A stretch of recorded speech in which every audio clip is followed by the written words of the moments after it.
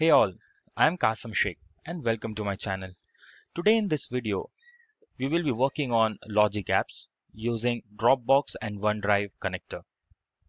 So the scenario is, we will be using Dropbox as a trigger, wherein when a file is created in a Dropbox, the same file with the same content will be copied or created in a OneDrive folder.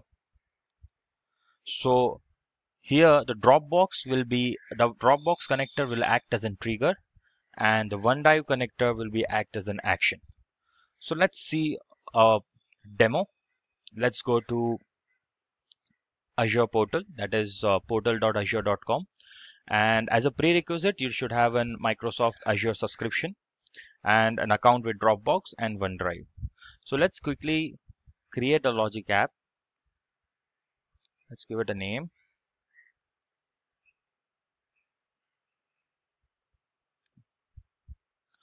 Subscription is free trial. Create a resource group with the same name. Let the location be as default. Spin it to dashboard. Click on create. So this will create our logic app. It will take few seconds. So once it gets deployed, it will open up the logic app designer page wherein uh, we can design or have a workflow.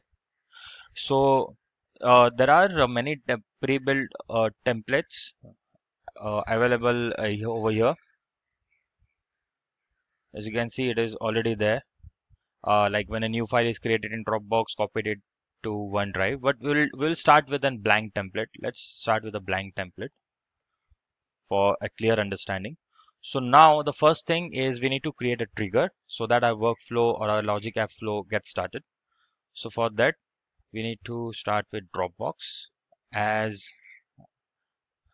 our flow. So here you can see there are triggers and actions for the Dropbox.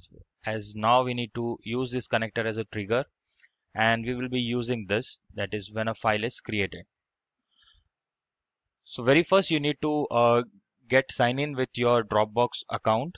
So you need to provide your credentials and uh, it will ask for a permission so that uh, the logic apps and your Dropbox can communicate with each other. The APIs can uh, communicate. So uh, let's sign in. So as you can see, uh, once clicked on sign in, it will open and uh, it will ask for some permission so that it could logic apps could access the files and folder with your drop Dropbox click on allow so now here it is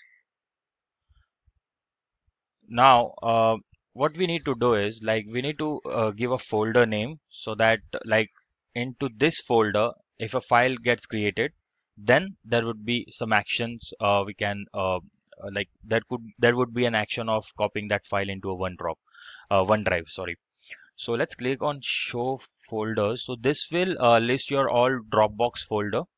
So I've created one uh, folder named Azure Demo for this demo purpose. So I will select this demo. Uh, you can use, uh, uh, you can change the content type or you can use, uh, give it yes or no over here. So let's skip it as yes. And you can configure the frequency like uh, into what uh, how how frequency like how three minutes or in four minutes or in one month or two month or weekly or every second you need to check you can also enter a custom value. So let's uh, select as minute and let's select this interval as one. Like after every minute it should check whether this azure demo has a new file and it will sync with uh, our onedrive. So we have created this we have configured the values. Now let's go click on new step and add an action so what this action will be doing is it will create the same file with same content into our OneDrive. So we need to select this OneDrive and it will highlight an action. There is trigger, but this as uh, we have already used Dropbox as a trigger, it will trigger our workflow and the action will be taken from OneDrive. That is, it will again create a file. So now again you need to uh, log in with your credentials so that your OneDrive uh, Logic app can access your OneDrive files. So let's, so as you can see, I have entered my credentials and uh, it will ask again for some permissions for access. Let's click on yes. so now it is it got connected so now it will ask for an folder path like wherein uh, where we have to uh, copy the file or where we have to say copy that created file where we have to create the file. Again the same thing. It will show you all the folders. No you don't want to have it on root. I have created one folder named Azure demo again. So let's select it.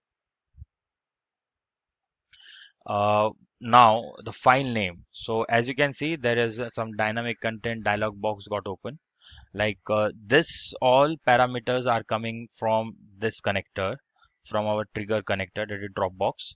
We can keep, keep the same file name or we can give some another file name or we can keep the content as a file name anything. So let's uh, keep the same file name as of now. File content again would be the same file content. So now we have um, configured this, our action, click on save. So now here our workflow is created, our logic app flow is created. Now let's test it. So what I've done is, uh, there is one uh, sample file with me with the name article of the day ASP.NET. Let's copy it.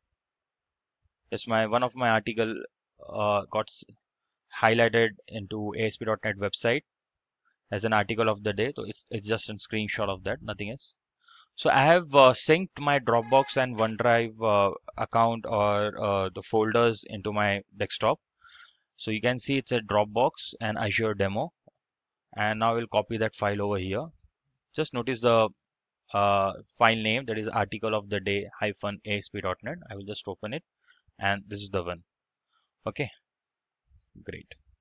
So now let's see this should trigger our um, logic app okay so it will be getting triggered after every one minute. Let's wait for it. Or we can click here and we can uh, we can uh, ask or we can command it to get it triggered.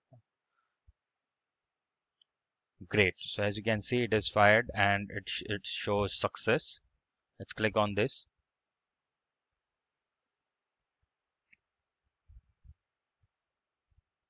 it took 1.1 second.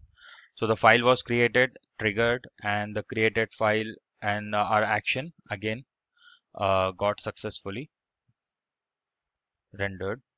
Here here it is. So let's uh, let's open up the OneDrive folder.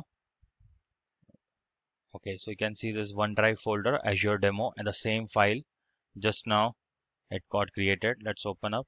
The content is the same with the file name so every second it will uh, check uh, or it will get triggered and you can see the details over here if at all it sometime it got fails for any reason like network failure or some access issue or something it will show you that it got failed with the proper reasons and everything so that you can debug the flow. Uh, one more thing I would like to show, if you go to your logic apps and click on API connections, so you can see uh, that we have used Dropbox and OneDrive as an API. So we have authorized this our uh, this uh, Dropbox and OneDrive connector, and hence it's it is part of this API connection. It has got associated with the Logic app. So Hope you have learned something new from this uh, video. Uh, I will request you to kindly subscribe to my channel, like this video and share this video. Thank you and happy Azure coding.